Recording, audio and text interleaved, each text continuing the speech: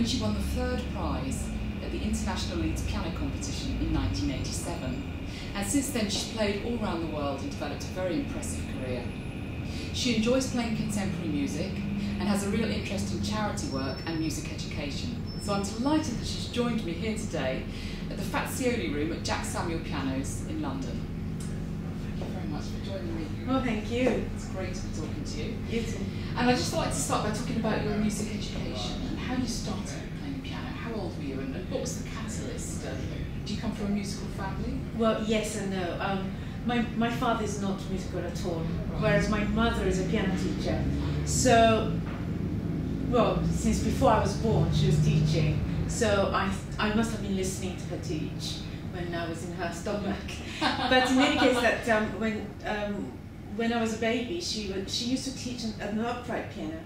And my mother tells me that uh, when I was a toddler, I used to sit at the corner of, of this upright piano listening to all the piano lessons. Gosh. So when I was about two already, I was very, very enthusiastic about piano. Yeah. And uh, if dinner time, if I say, Mummy, piano, both my parents went, oh dear, not again. so they had to hold my back because I could fall off the piano stool. So I was really that keen then. That's wonderful, isn't it? Yeah. Yes, I started uh, proper piano lessons when I was four and a half. Right. Um, my aunt saw me playing at the keyboards and at the piano all the time, and my mother was very busy because I had a younger sister. And um, but then my aunt said, "Come on, sister, you sh- you have to take your daughter to the piano lessons," Yes. and that's how it all started. So which teacher do you think was most crucial in your development as a pianist? Which one kind of influenced you the most, do you think? Well, very well. Right from the beginning, everybody was very, very important. Of course, my mother was such a an influence, big influence for me. Really, I mean, Yeah. she was always making sure that I, was, I practiced every day. So in a way, I had a tutor at home, and uh, of course, Mrs. Kuroda, who really taught me how to use each finger. She was very important. All the teachers, yes, and then I studied with uh, Madame Iguchi, who was you know the, one of the best known piano teachers in Japan. But probably I would say the biggest influence I would say now that I had is from Benjamin Kaplan, who was in London. Yes. Um, he very unfortunately he passed away recently, but um, he was the biggest influence. He was the teacher that I found by myself, and uh, for me, uh, I would not be here in London without him. So I would say really. so what, how old were you when you came to London to study then? I was already fully grown up. I was well, I was a Juilliard student when I came across Benjamin Kaplan, Okay. and he was visiting New York, and I was a very typical frustrated student then, rather cynical, because I would go to competitions and I always do okay, but never really, really well because I was a very frustrated student, not getting what I wanted. So I was not able to have any kind of magical click with anybody at the Juilliard Right. because music education is a very personal thing Yes. and I needed to have someone that I could fully trust musically.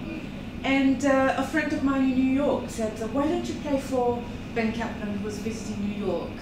Not for a very long time, but uh, you know he might be able to spare an hour or two for you." So I went along to to a flat where he was staying, and then I played to him. And I have to say, it was musical love at first sight. And then I knew I found somebody I was looking for. And it was really well worth it for me to go all the way to New York, spending years being a frustrated student just to meet this piano teacher. He was he was the right one, one for me. And um, so he found me some scholarship in London, Right. And I came here absolutely penniless. And um, and I had lessons as many times as I wanted. And um, suddenly all the doors opened, and starting from the Leeds. Yes, yeah. What do you think then is the difference between learning the piano in Japan and learning here in the UK? Do you think there's a tremendous difference or do you think it's quite similar in the approach? Well, um, I have to say that um, the stages of my life were so different. I was a child and I was a I was a teenager when I was in, in, in, in Japan, and then when I came to London, I was a grown-up person. So I cannot actually compare in a very simple way. But um, what I would say is that in Japan, um, we are we are always well. It is actually the basic thing of Japanese society. You do what you're told to do, and here you have to find what you have to do, Yes. and both easy and not easy, both good and bad. I mean, I'm, I shouldn't say good or bad, but uh, um, for Japanese children, it could be very demanding to be given too many opportunities to think right from the beginning because we are born into a society where you do what you're told and suddenly if you are um, free then it, it could be a bit too much pressure in a, in a very strange way I see what you're yes so um, for japanese children like I, I i was it is good to have some kind of frame up to some i don't know during formative years i would say Right. and then up to um, after maybe, maybe teenager time, it would be fantastic to have a kind of education that um, British music world can offer. Mm. Free to think, choose what you want to play, repertoire, go and find what you like to do, and uh, explore all kinds of possibilities. Yes. It's really too much for Japanese children, I think. I, I don't want to sound a bit too chauvinistic about it, No, I see what you're but it's, it's just a reality, I think, because I am one of them. Yeah, sure. But this kind of freedom and uh, endless opportunity that we've got in this British music world is really absolutely fantastic. It's, it's, it's like a it's like a honeypot really for, for every musician. That's good hear. How did you develop your technique? Um, I started uh, piano lessons with rather Japanese old school, very, very uh, strict, and you have to be aware of each finger Mm. of your both hands Yeah. and uh, making sure that they are very independent. So that sort of thing I developed in Japan, definitely. But um, when I was about 12, 13, um, I remember my friends and my friends' mothers used to say, Noriko's sound is very pretty, but it sounds like uh, very muted, as if she has got the una corda down all the time. And and uh, but then I, when I was a child, I didn't really worry about that. I was, in a way, chuffed that they thought that I made nice sound, and that's that's what I wanted to hear, Mm. really. But then when I was 13, 14, I started to notice that maybe it might not be enough. Maybe I should project a little bit more. Mm. Then I came across a, a, a, a pianist um, who was very active in performing at that time, uh, Mr. Hironaka. And he told me how to relax the, the, the body and arms Yes. and how to use this kind of power from here to there using the weight of the uh, arms. And I remember when I was about 16, I think I was practicing, and then suddenly a penny dropped, really. And then I thought, this is the way to use my body. And then suddenly I started to project a lot. Right.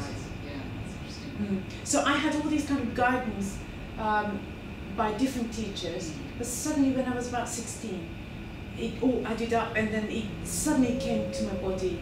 It, it, it was like a magical moment. Very difficult to explain because it's a very physical thing. Yes, and personal thing as well in a way. Now you, you won this uh, third prize at the Leeds. How did it change your career? It must have changed it tremendously. Oh yes, overnight. Yes, Overnight. I wouldn't be here without it. Right. Um, I had lessons with Ben almost every other day up until the Leeds. And then I went there, and, and when I went there, I just wanted to play to British audience. That's all I wanted to do. Mm. And then I just went further and further, and then I thought, my goodness, what am I going to do now? and uh, and then I was in the finals, and I, I, I didn't even tell my parents that because I, it was really just so much for me. And then I came third, and I was absolutely over the moon. yes. Then overnight, I had an agent in Japan, and then um, I made some phone calls to British agents, and at, at that time, the, the, the Leeds was so exposed Yes. that um, I had an agent in the UK overnight as well. So the day before I was a student pianist, and the day after I was a professional pianist. and uh, the change was very big. So, do you feel competitions are still very important? There's a lot of debate amongst pianists whether they can still launch you in, in the way that you were launched. Do you think they're still very powerful? Well, for pianists without any connection, important connection, useful connections, yes, it is.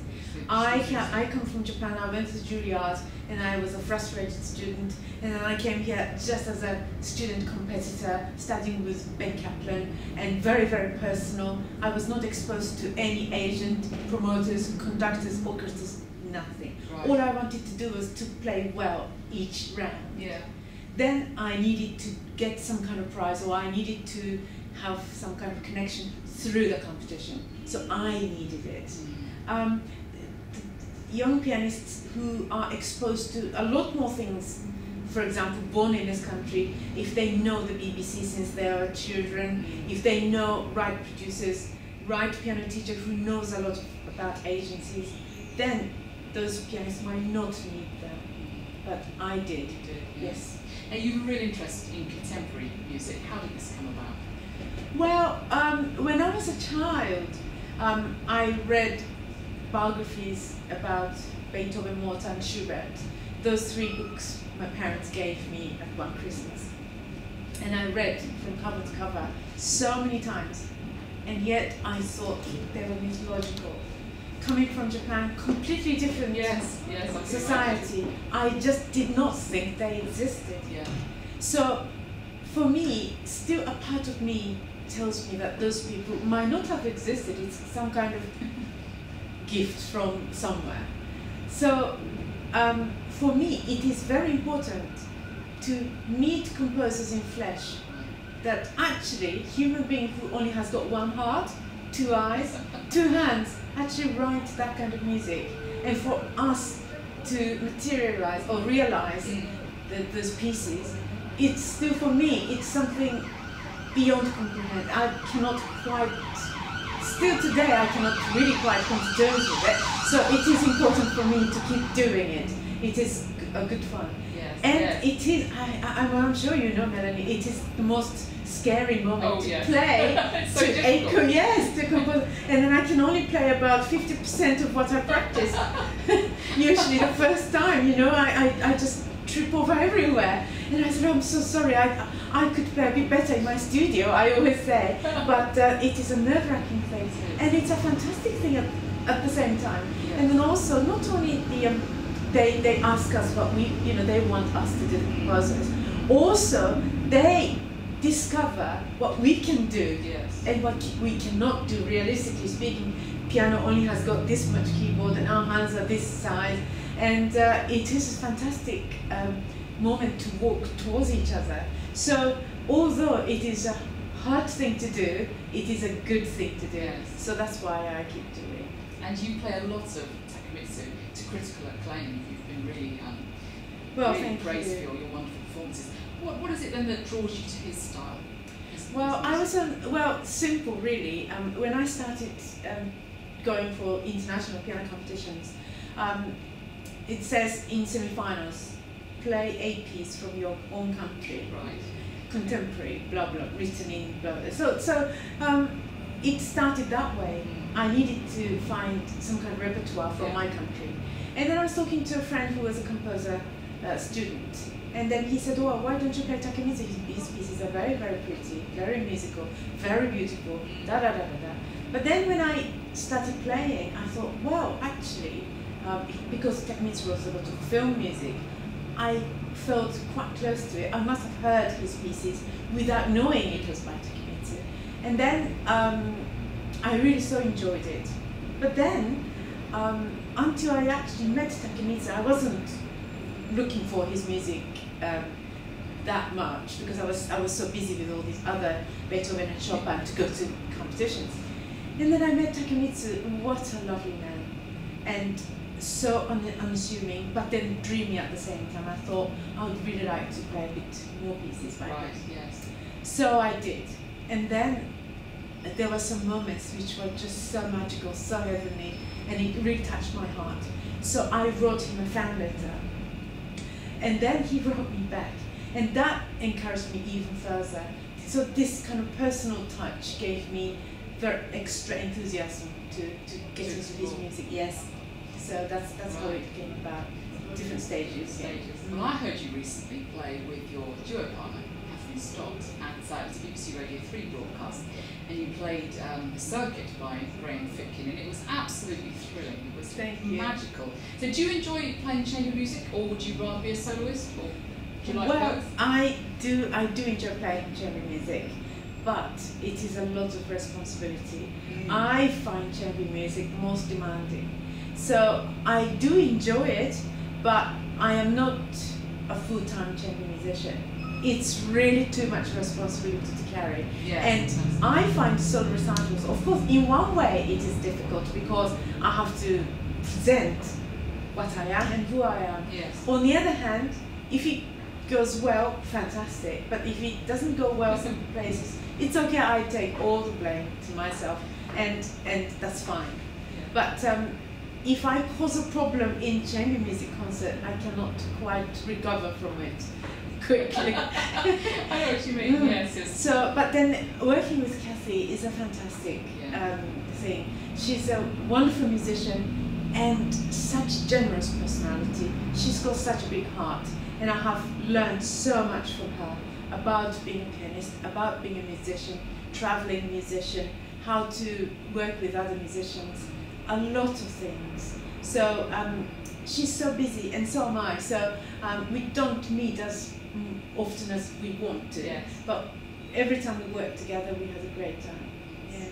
And you produce a beautiful tonal range, tonal palette. How did you, how did you come about producing this sound? Is it something that's developed over the years, or um, have you always been aware that you could make these, these wonderful sounds at the piano? Well, I am a strong believer of beautiful sound at the piano. If we are not worried about the quality of sound, why do we worry about playing on big concert grand or, you know, big maker, uh, you know, yes. the brand of the piano? And uh, why are we so worked up about the quality? It's because we want to make good sound. Yes. So I am a strong believer of that. Um, so I must have developed because of that that I have some kind of sound somewhere in my mind that I am always looking for it. That I am always looking for that kind of sound, so that I am trying to to to to to produce that kind of sound at the keyboard when I do it, and also um, not only just hearing it, but physically, um, I want to get a lot of pleasure out of playing the piano. When we, when our hands are really into the keyboard, Yeah. we know it. Yeah. Yes, and and I'm always looking for that kind of moment, and this is a kind of absolute meeting point between the piano and the pianist. So uh, because we have to perform on different instruments all the time, um, you know, it's like a first meeting. Yes. and we say hello and then I, I sit down and then I start playing and the piano says oh really? And then I say yes it's it's really. And then so I have got uh, some kind of image in my mind what kind of sound I want with my head and my hands are looking for this physical um, pleasure Mm. from this particular instrument. So my hands want to, to convince the instrument. So when the sound and the piano, this physical, I don't know what it is, click, happen, then the piano shakes hands with me. And, and, and I love that moment. So, Yeah. so that, that probably is the, the way that I work. And that gives me a lot of, um, can I say, that there's kind of sound world that it, yeah. yeah I, that I want to swim around. Swim around. Yes. So the piano tells me the capacity of that instrument while I'm rehearsing, and then with the with the acoustic of the of the hall, and then I know how far I can go. Mhm. In a concert, I go even further. And if the piano is a good piano, and and uh, if if this piano can take what I want to do, then it travels with me as far as I want. Wow. So that's that's the kind of image that I have. I have it's kind of map that I have, but it's always it's blank when I go to a concert hall, and it actually it could work with much smaller piano sometimes. Um, that, that, that's, that goes with outreach and things like that. You know, it, it, because if I go somewhere, then the piano is inevitably smaller than the concert grand. Yes. But I can still swim around in that kind of world. But if the piano is big and full size, if the concert grand is really huge and the acoustic is good, then I think I have this sound image and map that I start drawing. And is this why you enjoy playing Debussy so much? Because you've recorded, you've done a huge recording of Debussy's works recently, and is this what attracts you to his music? Exactly. tonal, tonal Exactly. Exactly, yes. Yes. Um, Debussy's sound, actually, a lot of people think that Debussy's sound is wishy-washy. It's not. Mm. And um, uh, he, it's not all the time, but he has got really great big forte, fortissimo, fortissimo, as well as very quiet sounds that sometimes I have to take so much risk. And actually playing quietly is more difficult. Yes. because Especially on instruments you don't know. Exactly. and then sometimes the bumper sounds Yes. louder than the piano sort of you know the, the, the notes. Then it's a it's a very difficult moment, isn't it? Yeah. Yes. So um, and and uh, Debussy challenges it, both ways. Yes. And uh, when it works, it's fantastic. And also the colours that he, he demands, it's it's um, it's wonderful when it works. So yes, that's that's probably why that I love Debussy playing Debussy. So I know you're very interested in outreach work, charity work. You've done a lot of this. So how, how did this come about? Well, since I was a child, I was always interested in this sort of thing. And um, um, first of all, um, I visit primary schools Right. mainly uh, when it comes to schools.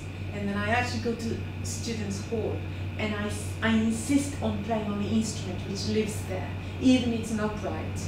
Uh, and because I want to show the children when I play it, when a professional pianist plays on it, it sounds different. And they love it. Um, so that's one thing. And then uh, I always insist on showing my hands. So if children are too many, I I tell them to change the seats, or I ask the piano to go around, Right. so that I can show how my fingers are working. So is this in Japan or did Yes. you do it in, here in Well, England as well? both, both, Both, right. yes. But um, it is easier for me to arrange when I'm in Japan. Sure. Yes, and uh, but anyway, so that's that's that, and then uh, um, I play something they know so that they can hear the difference. And it's amazing when I do students' concerts or primary school concerts, children's concerts. They always come up with amazing questions, very musical. Yes. Yes, quite threatening. Some of them almost professional level questions, and they always amaze me. So it, it's a it's a very um, stimulating for me. I can imagine. Yes. I'm sure I've already met future pianists, future musicians, and future audience. I am sure I have met them already. So that's one thing. And another outreach that I do really passionately is um, it's called Jamie's Concert. That's that's my creation kind of thing. And um, when I was when I first started uh, playing professionally in I was a lodger with an English uh, family, musicians family, and uh, there was a um, very disabled child in that family, and then I realised what it was like to to live with um, those children because for, for, the, for, for the parents it's, it's very very demanding. So I started this thing called Jamie's Concert, and the Jamie is the name of the, the, the, this boy. And it's designed for mainly for the carers, so that they can go to concerts during the day while children are in school, and they can go home before the, ch- the children get home. And but the, the concert is really like professional level concert, nothing different. We always put the dress on and, and we play in a proper concert hall. And uh, it's going really very well. I've already done 10 concerts in, 10 concerts in Japan and um, I've already done two in the UK and I'm about to do the, the next one in Liverpool area next February. So um, I would really like to continue that. Yes, I. Mm. I was going to say the next question. Uh, what are your plans for 2013? Oh, well, um, it's just uh, really carrying on playing. Yes, of really. course, Yeah, yeah. and, and uh, recently I recorded Mozart sonatas, and uh, it is going to be released. So I'd like to play some of those um, sonatas and then see how far I can go. This is a real, real test as, as a pianist. That is, it is, especially playing all of them. Wow. yes, it's, that's that's going to be um, a big challenge for me. And uh, um, well, the, the carry on learning new pieces. Yeah. Well, this year I've done this big Debussy festival, and then I celebrated the year of Debussy's birthday. So next year it is a little bit quieter in that respect. I don't have any kind of big project, Right. but um, I've got a lot of concerts coming in, and people are now finding out that I've recorded Mozart.